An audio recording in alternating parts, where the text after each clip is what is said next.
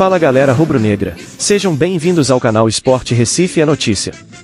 Vamos para mais uma notícia do Leão, mas antes, não esqueça de inscrever-se no canal, ativar as notificações, e deixar o seu like, e comentário. Assim, você fortalece nosso trabalho, e ainda fica por dentro de tudo que rola nos bastidores do maior do Nordeste. Após um impasse na negociação de seu primeiro contrato profissional e durante os estágios finais de preparação para a Copa São Paulo de Futebol Júnior de 2024, o esporte anunciou oficialmente a assinatura de contrato com o atacante, Enzo Wagner, de 17 anos, filho do ex-jogador do Leão, Wagner Love.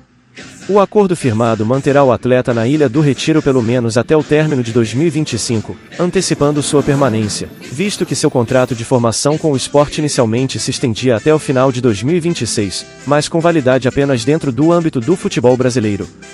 Portanto, essa assinatura profissional visa também proteger o esporte do assédio europeu em relação ao promissor atacante. Após a participação do esporte na Algarve Cup, um torneio sub-19 realizado em Portugal, Enzo recebeu um convite para testes no Benfica e sondagens de outras equipes europeias. Contudo, optou por permanecer no Leão. As negociações do contrato vinham sendo discutidas nas últimas semanas, impedindo a participação do jogador nos treinamentos do grupo que se prepara para a Copa São Paulo de Juniores. Com a renovação do contrato, Enzo foi confirmado na lista final de convocados pelo treinador Thiago Largue para a competição de base mais importante do país. O atacante se destacou na temporada pelas categorias de base do esporte, tendo chegado durante a metade da temporada, vindo do Cruzeiro. Em 17 jogos disputados, marcou 11 gols, contribuindo para a conquista do título pernambucano sub-17 ao derrotar o Náutico na final. Além de Enzo Wagner, os atacantes Natanael e Tauan também estenderam seus contratos com o clube até o final de 2024. Ambos têm 18 anos e são jogadores em destaque na equipe sub-20. É importante ressaltar a política do clube, exigindo que todos os atletas que participem de competições oficiais da base tenham pelo menos um ano de contrato com o esporte na data desses eventos.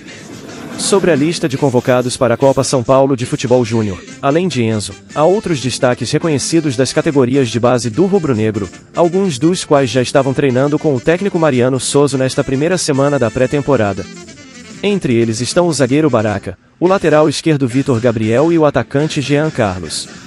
A lista também inclui o volante Vitor Neves, capitão do Sub-17 nos últimos anos, e o lateral direito Pedro Lima, que teve passagem pela seleção Sub-17 em 2023, sendo titular no Mundial da categoria em novembro, e que se prevê sua integração ao elenco profissional em 2024. Deixe sua opinião nos comentários, pois ela é muito importante para nosso trabalho. E não esqueça de inscrever-se no canal, ativar as notificações, deixar o like, o comentário e compartilhar o vídeo. Assim, você fortalece nosso trabalho e ainda fica por dentro de tudo o que rola de importante nos bastidores do maior do Nordeste. Pelo esporte tudo. Até a próxima!